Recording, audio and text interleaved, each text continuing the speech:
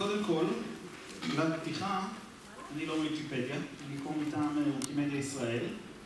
ויקימדיה ישראל זה עמותה בארץ, שהמטרה שלה היא לסייע, לקשר בין גופים לבין ויקיפדיה. ואתרים אחרים של קרן ויקימדיה, אחד מהם זה וויקי נתונים, בסיס הנתונים שלנו, אני אסביר על זה בהמשך, ולוויקי שיתוף, שזה מאגר התמונות שלנו. אז למעשה, המטרה שלנו כעמותה זה לעזור לכם. אז חשוב שתדעו שאנחנו פה לעזור לכם. בהרצאה הבאה שלי אני אפילו אתן טיפים יותר חזקים איך אנחנו יכולים לעזור לכם. מה זה לכם? לכם זה לארכיונים. גם לציבור, אבל בהקשר הזה, לארכיונים. עכשיו, השם של ההרצאה שלי זה למה מוזיאון המטרופוליטן צריך את ויקיפדיה. מוזיאון המטרופוליטן, מוזיאון בארצות הברית, מוזיאון גדול. אתם זוכרים, הייתה פעם סדרה, Yes Prime Minister, סדרה מצחיקה. היה שם את הקר, שהיה ראש הממשלה, לא האדם הכי אינטליגנטי, והיה אצל המפרי, עובד המדינה, שהיה חכם ממנו בהרבה. הוא אמר להקר, כל פעם ששואלים שאלה קשה, אתה צריך להגיד, לא זאת השאלה. השאלה בעצם, היא ואז לשאול שאלה אחרת. השאלה היא לא מדוע מוזיאון המטרופוליטן האמנות צריך את ויקיפדיה, השאלה היא מדוע ארכיונים צריכים את ויקיפדיה, ולהפך, השאלה היא מדוע ויקיפדיה צריכה את הארכיונים, והתשובה לכל השאלות האלה היא אותה תשובה. אז אוקיי, אז לא זאת השאלה. עכשיו, כדי להסביר לכם למה ארכיונים צריכים את ויקיפדיה, צריך להבין מה יהיה העתיד. איפה אנחנו נהיה בעוד 15 שנה. קרן ויקימדיה עכשיו סיימה פרויקט של לנסות לחזות את העולם בשנת 2030, שעלה סכום עתק, כדי להתאים את ויקיפדיה לעתיד, את כל הפרויקטים לעתיד. אז כדי לחזות את העתיד, צריך קודם כל לדעת איפה אנחנו, ולאן אנחנו הולכים. וכדי לדעת איפה אנחנו, צריך לדעת איפה היינו ואיך הגענו לפה. וזה בעצם, אתם מי שיודע את זה, כארכיונים. אז זוכרים את הסרט הזה? צריך להבין איפה העתיד. עכשיו, היה גם סרט המשך, העתיד כבר כאן. אם אתם זוכרים, בהתחלה הבחור חזר לעבר, ואז הוא היה צריך לנסוע לעתיד, להציל את הילדים שלו. אז העתיד היה, למי שזוכר, ב-21 באוקטובר 2015. אז העתיד היה לפני ארבע שנים. עכשיו ננסה לחזות את העתיד. חיפשתי תמונות של העתיד, מצאתי אותן באתר התמונות בשיתוף, מאיזה ארכיון רוסי. אז זו תמונה מצרפת מ-1900, ככה הם חזו את העתיד, שזה יפה, כי אז עוד לא היה תעופה. אמרתי, ארכיון רוסי, אז זה גלויה מ-1914 שחוזה את מוסקבה בעתיד, רואים את הקרבלין, ורואים רכבות מרפפות, מה שעדיין לא יהיה, עדיין אין. ועוד גלויה מ-1922, איך ייראה העתיד. אנחנו לא רחוקים מזה עם כל הרחפנים שיהיו בעתיד הקרוב. אז זה מתקרב. טוב, עכשיו אני אנסה לחזות את העתיד. אני אתחיל עם זה, מה יש באינטרנט. קודם כל יש ארבעה אתרי אינטרנט שהם גדולים וראשונים, וויקיפדיה הוא האתר החמישי במספר הצביעות, זה לפי דירוג אלקסה. האתרים הם אלה, גוגל, האתר הראשון הכי נספר, אחר כך יוטיוב, פייסבוק וביידו. ביידו זה הגוגל הסיני. גוגל חסום בסין, זאת אומרת צנזורה ממשלתית. ואז יש ויקיפדיה, שזה האתר החמישי הכי נספר. עכשיו, מה ההבדל בין ויקיפדיה לכל הארבעה האחרים? כל הארבעה האחרים הם לא באמת אתרי אינטרנט, הם לא מציגים את הכל, יש להם פיד. זאת אומרת, האתרים האלה מנסים לחזות מה מעניין אתכם, ומציגים רק מה שמעניין אתכם. בעיקר פייסבוק, בעיקר יוטיוב, אבל גם גוגל. למה זה חמור? היום מזהים שתי תופעות, איך האינטרנט משפיע על התרבות, שתי תופעות תרבותיות. אחד נקרא, אה, יש גם את הנושא של פייק ניוז, איך מצנזרים את הכל, למה אין גוגל בסין, כי הממשלה הסינית לא מוכנה שבמילה החיפוש תעשה צנזורה. זה כבר בעיה, הכל מסונן. אבל שתי התופעות שרציתי לדבר עליהן, אחד נקרא FOMO, והשני נקרא FOBO. ראשי תיבות של Fear of Missing Out ו-Fear of Better Option. אנשים מפחדים שהם מפסידים, ומפחדים שמישהו אחר רואה משהו יותר טוב מהם. זו הסיבה שכולם מתקתקים כל הזמן, מחפשים אינסטגרם, פייסבוק. אתם עולים לאוטובוס, כולם מחפשים כל הזמן, זו הסיבה. עכשיו, המשמעות שלאנשים יש סבלנות פחותה ופחותה, כי הם כל הזמן מחפשים את הדבר הבא. וזה רק יחמיר בעשר שנים הקרובות. ואיך זה משפיע עליכם, על כל אלה? האתרים האלה, כדי להיות, להמשיך להיות רלוונטיים, הם רק יחמירו את זה. זאת אומרת, אם אתה לא תהיה החיפוש הראשון בגוגל, אנשים יעברו הלאה, יפסיקו לחפש. ופה מתחילה להיות הבעיה. פה אנחנו יכולים לעזור. אה, כי בדרך כלל, אם ניקח לדוגמה את גוגל, האתרים הראשונים זה אתרים פרסומיים, אנשים ששילמו לגוגל כדי להופיע. ואז אה, אתרים שגוגל החליט שזה מעניין אתכם. ואז האתר הראשון בגוגל, האמיתי, אתר תוכן זה ויקיפדיה. אז אם אתם לא נמצאים בוויקיפדיה, ואחד האתרים נמצאים בוויקיפדיה, אתם לא תהיו בעמוד הראשון של גוגל, והתחזית שלי, אף אחד לא חוזה את העתיד באמת, אבל התחזית שלי, אף אחד לא יעשה נקסט בחיפוש של גוגל. ואם אתם לא תהיו הראשון, החומר שלכם לא יהיה הראשון, אף אחד לא ימצא, לא יחפש אותו אפילו. זה בעיה אחת של העתיד, ובזה אנחנו יכולים לעזור. אה, עוד אה, שינוי גדול שיהיה בעתיד, עד עכשיו האינטרנט זה מה שנקרא אינטרנט אוף איפל, אינטרנט של אנשים. אתם מחפשים באינטרנט. העתיד זה אינטרנט אוף. לא אתם תחפשו, מחשבים יחפשו. יש לזה גם סיבות אה, כלכליות וסיבות טכנולוגיות. כבר היום רמזורים גולשים באינטרנט ותחנות אוטובוס גולשות באינטרנט לדעת מתי באים אוטובוסים ויש את השלטים עם הדקות. זה גולש באינטרנט. אז אה, שמעתי הרצאה של עתידן, אה, ינקי מרגלית, שהוא חוזה שהנעליים שלנו יגלשו באינטרנט. יש לזה סיבות. לא רק לראות שאנחנו הולכים. התיאוריה שלו שאתם רצים בפארק, הקרדיט לא, אה, הטלפון שסופר את הדפיקות לב ואת הצעדים, יכול לזהות אם קיבלתם התקף לב, לדוגמה. אתם ממשיכים לרוץ, לא יודעים מזה. אז הנעליים יזמינו את האמבולנס לאיפה שתהיו, מתי שהוא יגיע. רעיון יפה, טכנולוגית זה אפשרי. אה, כן, עכשיו, עוד דבר, אה, שמעתי הרצאה אחרת בעניין הזה, הידע האנושי הולך וגדל. אם ניקח את כל הידע האנושי עד שנת 2004, נשים אותו בחדר אחד, וניקח את כל הידע האנושי בין 2004 ל-2008, נשים אותו בחדר השני, הגודל שווה. וזה אקספוננציאלי, זה רק מחמיר. המשמעות היא שאם אתם, לדוגמה, רופאים, ואתם צריכים לקרוא מאמרים עדכניים, אתם לא יכולים לקרוא. אז תשלחו את המחשב שלכם למצוא את מה שרלוונטי. אתם לא תחפשו באינטרנט, מחשבים יחפשו בשבילכם באינטרנט, והם יחליטו מה רלוונטי לגביכם. זה מתקשר למה שהיה קודם, וזה מתקשר ל... לא רק ויקיפדיה, וויקי נתונים. ויקיפדיה נועדה לאנשים שיקראו. וויקי נתונים, אני תכף בהמשך אתן דוגמה, זה ה database של ויקיפדיה, והוא נועד למחשבים, שהם יוכלו לקרוא את uh, ויקיפדיה. כל מה שאני יודע על uh, וויקי נתונים, למדתי מאסף ברטוב, שיוצא אחריי, אז... Uh, רק לשם ההשוואה, בוויקי נתונים, ב database שלנו יש 64 מיליון פריטים. בוויקיפדיה הכי גדולה, וויקיפדיה האנגלית, יש 5.8 מיליון ערכים, וויקיפדיה העברית יש לה 246 אלף ערכים. קטן לעומת האנגלית, אבל זה פי שמונה מהאנציקלופדיה העברית, שהיו בה כ-30 אלף ערכים. כבר אה, נותן הרבה יותר. אמ, עכשיו, כדי להמשיך, לראות איך, איך למה מטרופוליטן, למה ארכיונים ציבוריים ויקיפדיה, ניסיתי לבדוק מה המטרה של ארכיון.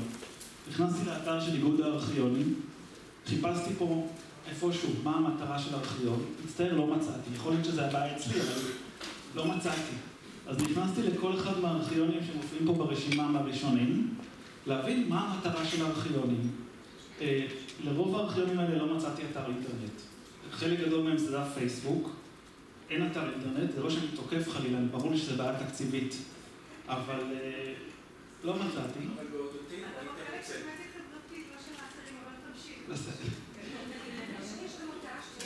חיפשתי בכל הארכיונים האלה מה האודות שלהם, מה ה mission statement, כמו שנועם הציג קודם את המטרה של הספרייה הלאומית.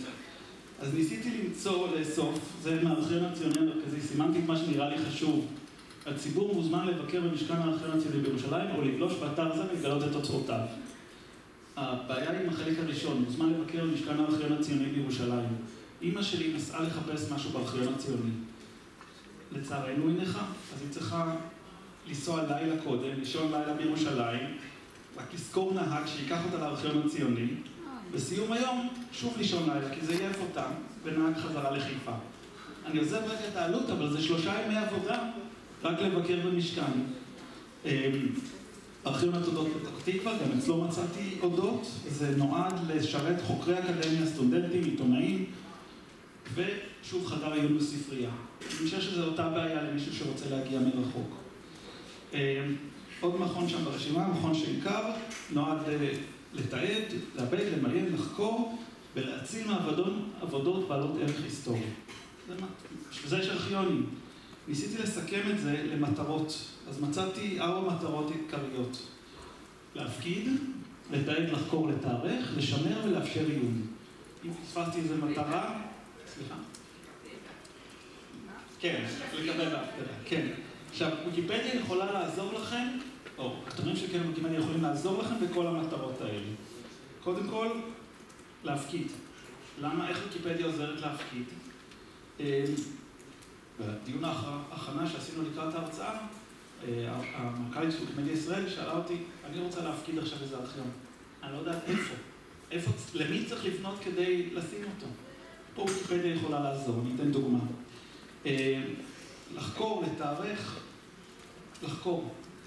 חוקר, לא כל החוקרים נמצאים בפתח תקווה, או בירושלים.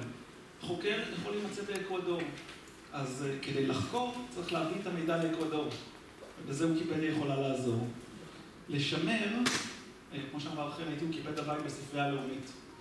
ומה שאני מבין, לשמר זה פחות ידיים ידפדפו בספר, וכולם יוכלו לקרוא את הספר, זה עוזר לשמר.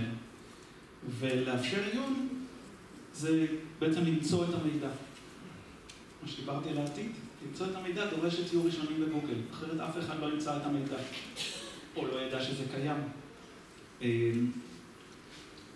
סיפור קצר, המוזיאון הלאומי של ברזיל, זו תמונה, זה היה הבית של קיסר ברזיל. למי שלא יודע, ברזיל הייתה קיסרות, בעצם הייתה שייכת לפורטוגל.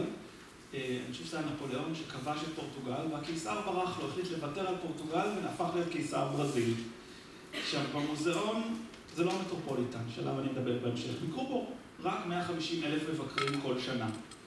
היו בו 20 מיליון מוצגים. עכשיו, אתם תכירו את המשפט הבא, היו להם קשיים תקציביים, משרד התרבות לא נתן כסף, רוב העובדים היו מתנדבים, לא היה כסף לתחזוקה. ואז, בשני לתשיעי 18, הייתה תקלה במערכת המיזוג אוויר.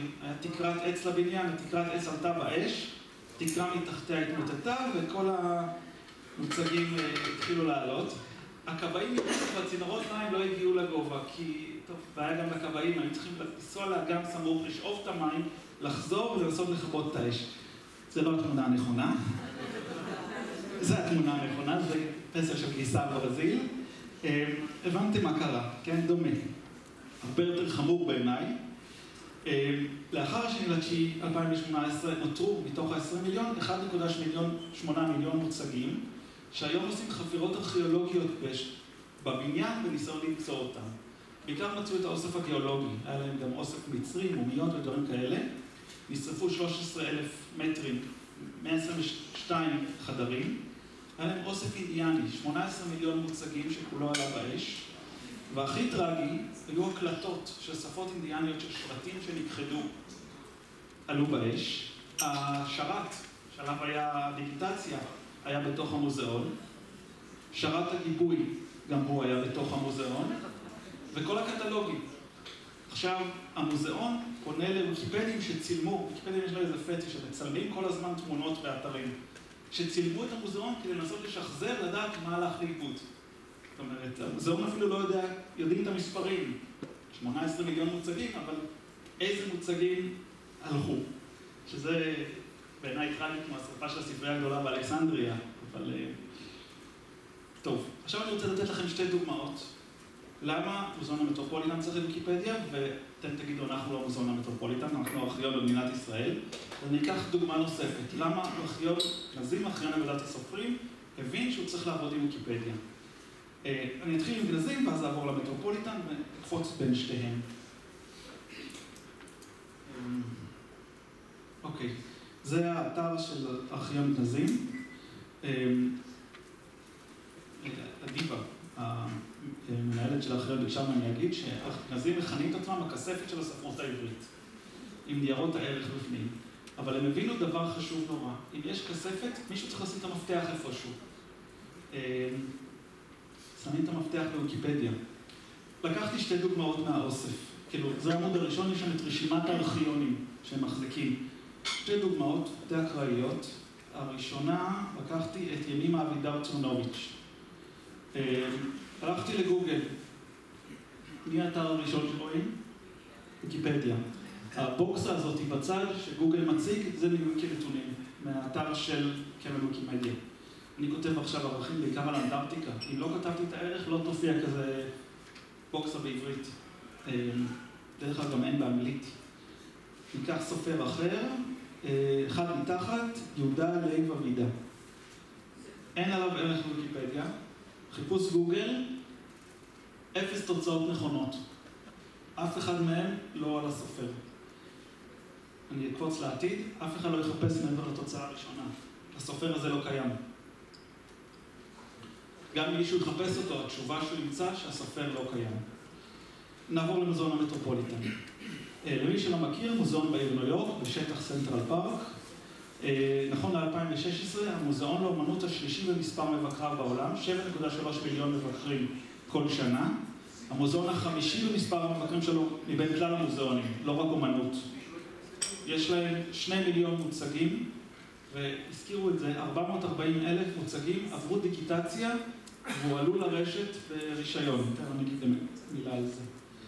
עכשיו, שוב, זה לא ארכיון, ארכיון ישראלי, לאתר שלהם נכנסים כל שנה 31 מיליון מבקרים. הם, חלק מהיצירות שלהם נמצאות בוויקיפדיה. הם סופרים כמה אנשים נכנסים ליצירות שלהם בוויקיפדיה, 100 מיליון מבקרים. שוב, הם גם מרוויחים, יש להם מודל כלכלי, הם מרוויחים מהאתר שלהם 20 מיליון דולר כל שנה, התקציב הכולל שלהם זה 317 מיליון דולר. שוב, דיברו על עובדים יהודיים, מתוך 2,000 עובדים יש להם 60 עובדים במחלקת האינטרנט. שפה הבנתי שאם יש אחד והוא מתנדב זה יוצא דופן. אבל מה שחשוב להבין, זה הם הבינו איך ויקיפדיה יכולה לעזור להם, וזה scalable, זאת אומרת, באותה מידה ויקיפדיה יכולה לעזור לכם. וזה מה שחשוב, בשביל זה אני אומר כאן.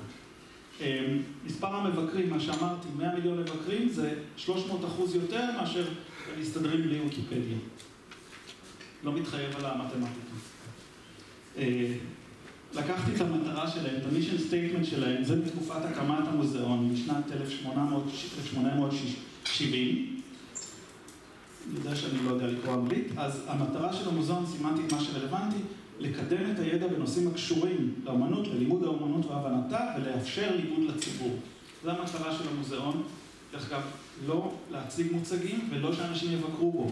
המטרה היא לאפשר לציבור ללמוד. בשנת 2000 הם ניסחו מחדש את המטרה שלהם, שזה משהו שיותר מתאים לעידן האינטרנט. המטרה היא לקדם את הידע בנושא אומנות לשירות ציבור והסטנדרטים הגבוהים ביותר. ופה עשו את האיזון בין אתרי אינטרנט לבין המטרה שלהם. להנגיש את הידע, זה אתרי אינטרנט כמו ויקיפדיה, סטנדרטים זה הם. זאת אומרת, הם קובעים את הסטנדרטים, וזה מה שחשוב להבין.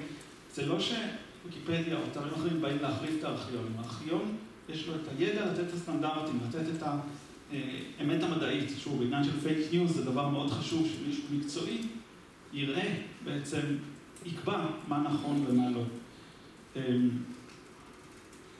שוב, אני חוזר למטרות מקודם, כל אלה מסתדרים עם המטרות של המטרופוליטן גם כן. גם הם מדברים על להפקיד אומנות, לתעד, לחקור, לתארך, לשמר, לאפשר עיון. טוב, תכף אני אדגים איך הם הבינו לעשות את זה. איך הם בודקים שהם מצליחים בזה? המוזיאון בודק כל חודש כמה אנשים נכנסים לאתר שלהם, יוניקים. יוניק IP זה אדם שעונה באינטרנט, על כמה מוצגים אנשים מביטים ולכמה אנשים מונגש מגיעים לידע. אז יש להם 1.9 מיליון צפיות יוניקים בחודש, 2.1 מיליון צפיות במוצגים שונים, אחלה מספרים. אבל אם המטרה שלהם, אני אזכיר, היא להנגיש ידע לאנשים, צריך להסתכל על כל האנשים, לא רק על אלה שמסתכלים. יש 3.9 מיליון אנשים בעולם שיש להם גישה לאינטרנט. אז הם רואים את המטרה שלהם, זה להגיע לכולם. ואם אני מסתכל על המספרים שאמרתי קודם, 1.9 מיליון צופים שונים, הם לא מגיעים ל-99% מקהל היעד שלהם. זאת אומרת, הם עומדים אחוז אחד במטרה שלהם במצב הזה. ולכן המוזיאון צריך ויקיפדיה כדי להגיע. דפי המוזיאון, המוצגים של מטרופוליטן הונגשו לוויקיפדיה ברישיון CC0, וזה לא נחלת הכלל. זאת אומרת, יש פה איזה אלמנט של שמירת זכויות, אבל במוצגים באמצעות ויקיפדיה צפו 14.3 מיליון uh, אנשים שונים. 14.3 לעומת 1.9, זה 87 אחוז יותר. לא מתחייב על האחוזים. Um, עכשיו, כדי לקדם את המטרה שלהם, לעמוד ביעדים שלהם, הם חייבים את ויקיפדיה. אז שוב, אני יודע שאתם לא המטרופוליטן, הם זיהו את הבעיות שיש להם בהנגשה. הבעיה הראשונה זה שפות, תכף אני אזכר את זה, גישה לאינטרנט וזכויות יוצרים, שבשביל זה אנחנו פה כולנו. פעם הם שמו סימן מים על התמונות וכתבו כל הזכויות שמורות, גם אם זה היה public domain, והבינו שאף אחד לא יכול להשתמש בזה, זה סותר את המטרה שלהם. משמעויות. מורים לא יכולים להשתמש בקובץ. שימוש הוגן זה לימוד עצמי. ללמד זה כנראה לא שימוש הוגן, המורה מרוויח כסף. אם אנחנו רוצים ספר לימוד עם היצירות, זה לא שימוש הוגן, זה צריך להיות קובץ בשימוש שמותר גם שימוש מסחרי. יצירות אומנות, אי אפשר לעשות אומנות, יצירות נגזרות. שתי דוגמאות ליצירות נגזרות. מכירים את מונליזה, ציור ידוע, אין עליו זכויות יוצרים. מרסל דושן צייר את זה, אה, יצירה שנקראת LHOOQ, שזה בצרפת, אני אפילו לא אגיד את זה, בצרפתית גסויות, מונליזה עם שפם וזקן. זו יצירה נגזרת. אם המונליזה לא הייתה יצירה חופשית, אי אפשר היה ליצור את היצירה הזאת, שגם היום היא נחשבת אומנות קלאסית. ספר לימוד זה יצירה נגזרת. אתם חותכים תמונה כדי לשים אותה בספר לימוד, או גוזרים תמונה, זו יצירה נגזרת. אם התמונה לא מותרת לשימושים חופשיים, אי אפשר להשתמש בה בספר לימוד. והדבר הראשון, אה, האחרון, אה, אני חושב ש... אני לא זוכר מי מכם אמר את זה, לא ישים, אי אפשר לאכוף זכויות יוצרים. אה, היה לנו בוויקימדיה ישראל דוגמה, היה את המשט לעזה מטורקיה. על האונייה פלסטינאים צילמו תמונות והעלו אותן לוויקיפדיה ברישיון חופשי. דובר צה"ל לא מוכן לשחרר את התמונות בלי אישור מראש וכסף. פנינו לכנסת, למשרד החוץ, אמרנו, תקשיבו, אנחנו צריכים את התמונות. הכנסת, מחלקת המחקר שלהם, עשו בדיקה. כמה תמונות, כמה כסף לעם מקבלים מתמונות כל שנה, וכמה זה עולה לאכוף את הזכויות. הסכום שמקבלים מתמונות זה בערך 4,000 שקל, עלות עורכי הדין זה 60 אלף שקל בשנה. עכשיו, משרד החוץ, אתם יודעים כמה כסף הוא משקיע בתודעה ציבורית? ברור פה איפה הבעיה, המדינה משקיעה מאות אלפי שקלים כדי להרוויח 4,000 שקל. משהו פה לא מסתדר. אה, המוזיאון החליט, כתשובה לכל אלה, להעביר את היצירות לרישיון חופשי CC0, שזה לא public domain, זה משהו יותר חלש. חייבים לתת קרדיט למוזיאון, לאוספים. אה, דוגמה, הציור הזה של ז'אק לואי דוד, מותו של סוקרטס, באתר המוזיאון יש לו דף, 3,000 צפיות לחודש. יש ערך על התמונה בוויקיפדיה האנגלית, 11,000 צפיות בחודש. אמ, התמונה הזאת מופיעה בערך, לפני זה, התמונה הזאת מופיעה בערכים בוויקיפדיות שונות, של 300 שפות בוויקיפדיה, 303 כבר, זה כל הזמן גדל. אמ, הערך הזה נמצא ב-29 שפות. דרך אגב, מאז שרשמו לי את המספרים, לואי טלון מהמטרופוליטן, כבר נכתבו שבע שפות נוספות, תורגמו, וביקשו ממני שאני אספיק לתרגם לכנס הזה גם לעברית, ולא הספקתי, מצטער. אז 33 אלף צפיות בערכים בוויקיפדיות השונות, לעומת 3,000 אנשים שרואים את הדף על התמונה באתר המוזיאון. טוב, עכשיו, במוזיאון הם תרגמו את המידע לעשר שפות. ויקיפדיה 36 שפות. אפילו מוזיאון המטרופוליטן עם התקצבים שלו לא מסוגל לתרגם את הדפים שלו ל-36 שפות.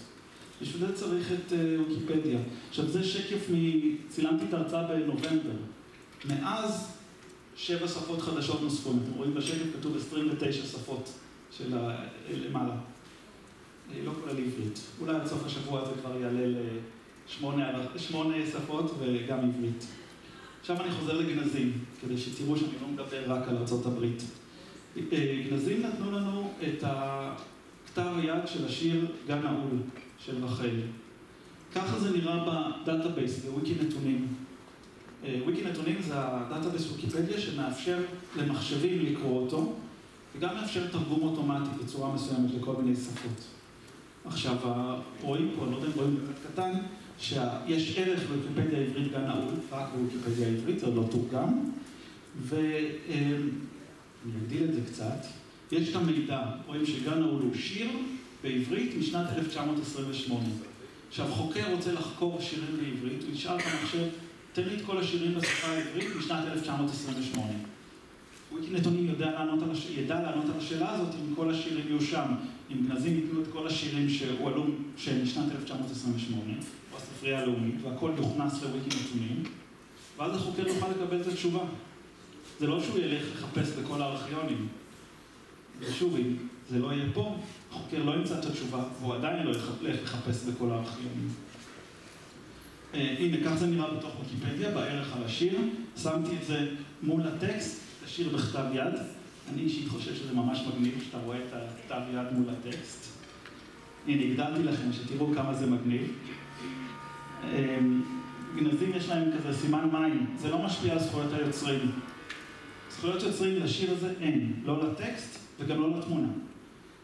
מי שצילם את התמונה הוא מישהו מוויקיפדיה, לא יש זכויות אה, לתמונה, והוא שחרר עליהם, הוא ויתר, ויתר עליהם. רישיון CC by SA, אני לא נכנס להסביר על רישיונות, אבל כשביקשו ממני להרצות, האיגוד ביקש את הזכויות היוצרים בהרצאה שלי, והתעקשתי שזה יהיה CC by SA, זאת אומרת שאתם יכולים לגזור אותה, את היצירה נגזרת וללמוד ממנה. הם התחייבו לי שככה זה יהיה, נכון? כן. התחייבו, כן. אני לוחץ על התמונה בוויקיפדיה, אני רואה, זה כך נראה דף מידע, זה מסביר מה אפשר לעשות בתמונה. כתוב, אתם רואים את הסימן, אין זכויות יוצרים על השיר ועל התמונה, אבל, אני שוב מגדיל, חייבים לתת קרדיט. מי שמשתמש בתמונה הזאת, חייב לכתוב בעברית מאוספים השמורים בארכיון אגודת הסופרים, גנזים בית אריאלה תל אביב ישראל, או באנגלית, אותו טקסט. יש פה קישור, אם היה באתר גנזים דף, היינו מקשרים אליו, ואז אנשים יכולים ללחוץ ולהיכנס. אם היה, לטיפולכם. עוד דוגמה שנתנו לנו מהמטרופוליטן, יש להם כמוצג את השריון של הנרי השמיני. עכשיו, אני יודע שזה יפתיע אתכם ממש, יותר אנשים מתעניינים בהנרי השמיני מאשר בארכיון, בשריון. ולכן 180 איש צופים בדף שלהם על הארכיון, אבל 405, בדף שלהם על השריון, סליחה, 405 אלף צופים בערך ויקיפדיה על הנרי השמיני. אתם רואים את היחס, 108 לעומת 405 אלף. עכשיו אני שוב קופץ לגנזים.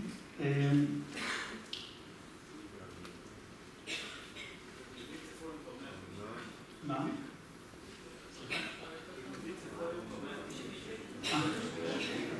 לקחתי את הערך לאה גולדברג בגוגל. יותר אנשים מתעניינים בלאה גולדברג מאשר במה שנמצא בארכיון שלה. אבל מה שיש בארכיון גנזים זה לדוגמה התעודה שלה בכיתה, לא זוכר. התעודה שלה, יש גם בספרייה הלאומית משנה אחרת, אף אחד לא יחפש את זה. זאת אומרת, אולי זה חוקר, אבל בערך לוויקיפדיה היא מופיעה. ואני אגדיל את זה, ככה זה נראה.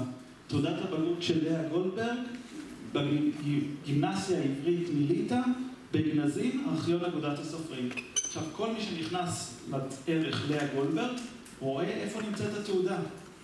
קודם הסברתי שצריך, אחד הדברים שאנחנו עוזרים זה בהפקדה. זאת אומרת, אנשים יודעים שאפשר להפקיד דברים כאלה בגנזים ואיפה זה נמצא.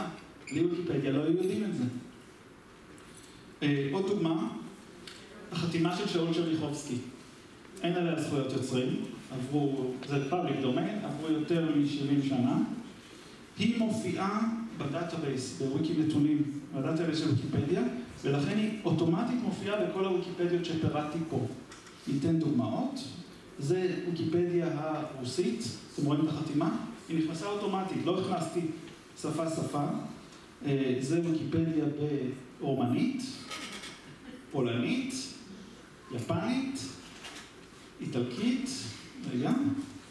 אני תמיד אוהב לסיים תמיד את ההרצאות שלי. חשוב לציין שאף אחד מהמתנדבים האלה, היפנים וזה, לא מכיר איזה נזים, לא יודע למצוא את זה לבד. כן, ואף אחד ממי שקורא את זה בשפות האלה לא ידע שנזים קיים, אבל אם הוא יחפש את זה הוא יראה, אם הוא ישתמש בזה הוא יהיה חייב לתת קרדיט לגנזים. ולרשום שזה בבית אריאלה, בתל אביב וכו'. עכשיו, בדקתי היום בבוקר, הדוגמה של המטרופוליטן, שוב, אני אומר, אתם לא המטרופוליטן, אבל כן בדקתי כמה אנשים ראו את ה... סליחה, אני אחזור דף אחורה, את החתימה.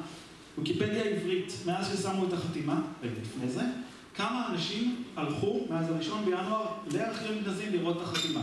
אני יודע את המספר, שמונה. וכולם מוויקיפדיה. עכשיו, כמה אנשים מאז ראו את זה? בוויקיפדיה העברית ראו את החתימה 18,190 איש, ממוצע של 97 אנשים ליום. באנגלית 6,310, ממוצע של 34 אנשים ליום. רוסית 1,574, גרמנית 1,113, ספרדית 568, איטלקית 501, יפנית 78. אני יכול להבטיח לכם שכל אחד מהמספרים האלה ביפן לא שמע על גנזים. אבל הוא ראה את החתימה, ואם הוא לחץ את זה הוא יכול לראות איפה זה. פולנית 291, רומנית 106, וזה רק מהשפות שהראיתי לכם קודם. סך הכל, את החתימה הזאת ראו 28,731 איש באמצעות ויקיפדיה, פלוס 8 פיזית בארכיון, שגם זה באמצעות ויקיפדיה, כי פרסמנו שאנחנו עושים ביקור בארכיון. ממוצע יומי של 154 כניסות ליום לערכים וצפיות בחתימה. אז לסיכום, ככה אנחנו יכולים לעזור לכם. ולגבי העבודה, תהיה לי עוד הרצאה שאני אסביר עוד יותר איך אנחנו יכולים לעזור לכם ספציפית בבעיות שעלו, בשאלות. עוד, אני חושב, שעה אני אעשה אותה, קצרה מאוד. ואני תמיד אוהב לציין את הציטוט של אלינור רוזוולט, אחת הנשים הגדולות ביותר שחיו במאה ה-20. היא כתבה את מגילת זכויות האדם, דרך אגב, למי שלא יודע. Nothing has ever been achieved by, by the person who says this cannot be done. זהו, סיימתי. שאלות אני מבין שיש זמן בסוף.